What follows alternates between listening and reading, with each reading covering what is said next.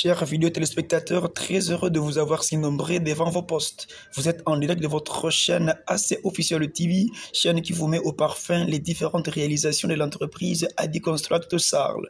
Par ce numéro, nous vous présentons la deuxième phase des poses des enrobés denses après le traitement de l'érosion sanctionné par la pose des bétons rigides. Vous allez donc suivre l'ingénieur sur quelques travaux restants. Suivez avec nous jusqu'à la fin et vous ne serez pas déçus.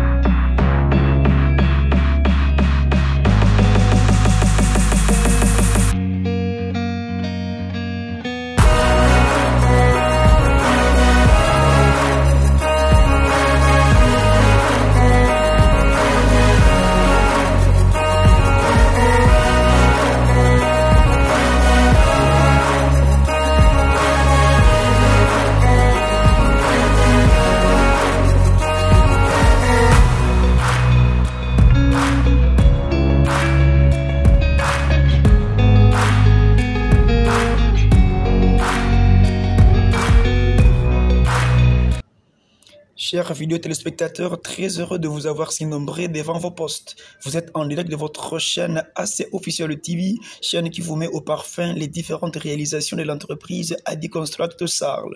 Par ce numéro, nous vous présentons la deuxième phase des poses des enrobés denses après le traitement de l'érosion sanctionné par la pose des bétons rigides. Vous allez donc suivre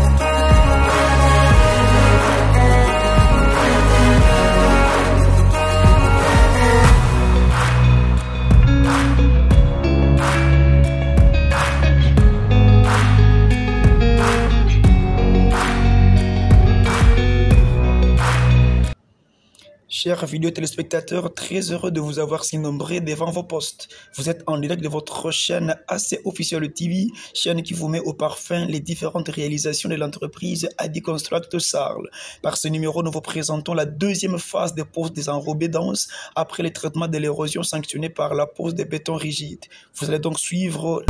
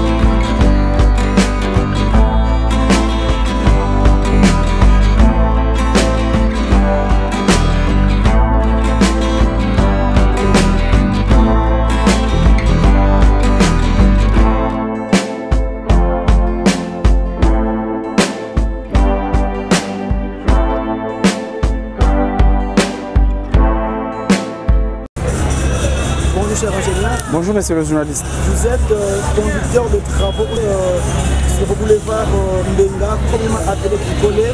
Aujourd'hui, euh, nous sommes en train de poser les enrobés dans sa deuxième phase. Après avoir, n'est-ce pas, traité l'érosion qui a, n'est-ce pas, fait couler les larmes de la population. En fait, quels sont les travaux réellement qui restent? Donc pour l'instant, concernant le boulevard Kinkolé, il nous reste juste les travaux qui concernent la chaussée. Donc les ouvrages d'assainissement, nous sommes déjà à 100%.